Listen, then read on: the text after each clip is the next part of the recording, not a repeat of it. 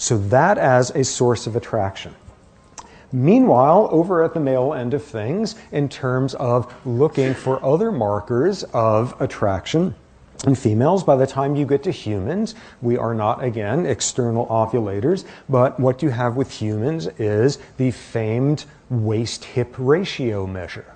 And this one has been endlessly studied and argued about the notion that the larger the size of the hips relative to the size of the waist, the greater the waist hip ratio. No, the lesser the flipped it around the other way.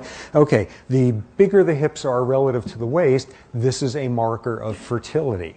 That is a marker of childbearing pelvises. That is a marker of all sorts of developmental health that augurs well for having a baby pass through the birth canal. In culture after culture, men find women to be more attractive who have a higher skewed ratio of hip to waist. So that's been studied all over the place. What you have, though, as the central controversy in that field is if every single culture that that's been studied in has been contaminated by their exposure to westernized culture and its pervasive values, which may be the source of that. So, among the hip waist sort of zealots, what has been the, the golden fleece to go after what has been, you know, the equivalent of getting identical twins separated at birth what is the thing they go after is to find a population of humans who are having their first contact with the outside world and have had no exposure to the westernized world. And thus, you are able to rush in there, quickly master their language. And once you've done that, you get to ask them the first question in their entire content with the westernized world, which is so, which of these look better to you? Of asking the guys there. And at this point, not surprisingly, there's not a huge literature of asking people on the first encounters about hip waist ratios. What you see is the literature is mixed. When you look at more traditional societies, you do not necessarily see as strong of a hip waist ratio a set of opinions, but nonetheless, at least some of that is universal in every culture that's been looked at. Again, as a marker of fertility. Meanwhile, over at the female end of things, you've already heard what some of the things are that are looked for in terms of responsiveness to secondary characteristics in males, which is jutting jaws, big high foreheads, and muscle mass. And all of these are assays indirectly of testosterone levels or testosterone exposure or sensitivity during adolescence. Those are preferred.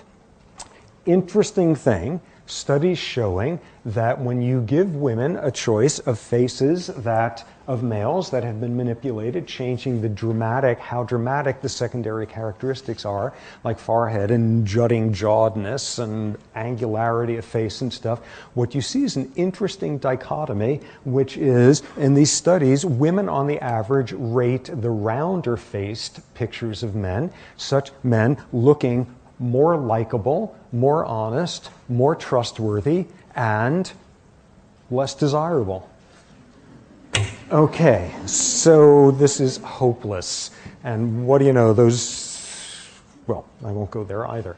What those show is separable traits there, separable traits in terms of what's attractive, what information. And again, when you look at these studies, the differences are like 5% difference in nostril width and things when they're manipulated. These are extraordinarily subtle differences where people are not consciously aware of them. Which face looks more attractive?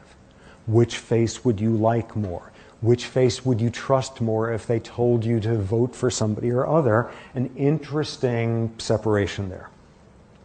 Okay, one additional one is that in women, when women are ovulating, they prefer more sexually secondary, secondary sexually characteristically dramatic male faces at the time of ovulation, women rate as more attractive male faces with the juttier jaws and the greater muscle mass and the forehead stuff going on. What we see here is this theme of at the time that estrogen levels are at their highest in humans and lots of realms, addition to other species, detection of pheromones from males is the most sensitive ability to pick up subtle differences in facial symmetry or secondary sexual characteristics characteristics are at their best and the preferences are derived from that, this is, in some cases, some rather substantial effects. Okay,